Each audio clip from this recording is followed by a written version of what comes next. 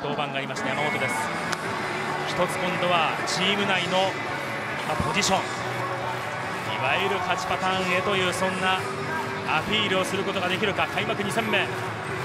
ビハインドの展開ではありますが相手の4番主軸この対戦を任されています。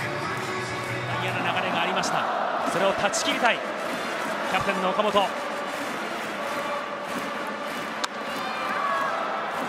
谷もオープン戦。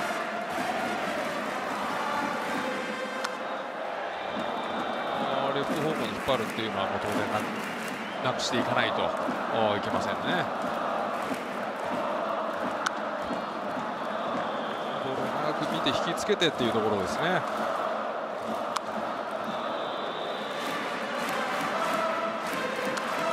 ああここもついていきましたコースあの低め、まあ、これもねあのー引っ張りに行ってたらああいう形にはならないですから。はい。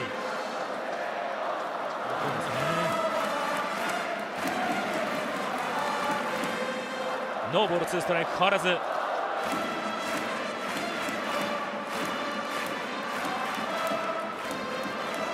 アンツとしては非常に楽な気持ちで迎える9回ということになるでしょうか。現在は2点差ちょっと真ん中に入ってきましたが148キロ。まだでいいと思いますねこのカウントの時は、はい。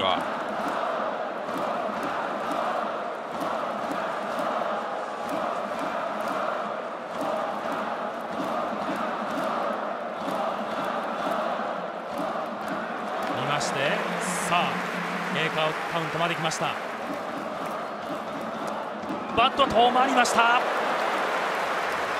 今これバットが止まるという状態なわけですよ、岡本は。今のしっかり見れてますよね、はい、あれをこう少しでもね意識してしまうとあのボールを追っかけがちになるんですけど、やはりそうなんですか。我慢できてますもんね。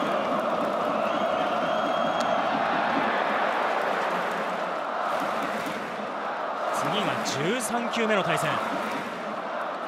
スタートで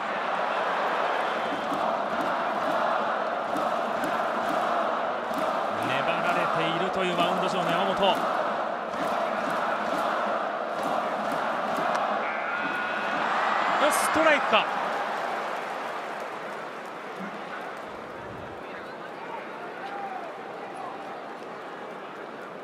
そして今三振で、えー、の市川です、えー、ただいま、えー、二塁送球に際し守備妨あ守備妨害ありましたのでえー、打者が三振でアウト、えー、一塁走者を守備妨害でアウトとします。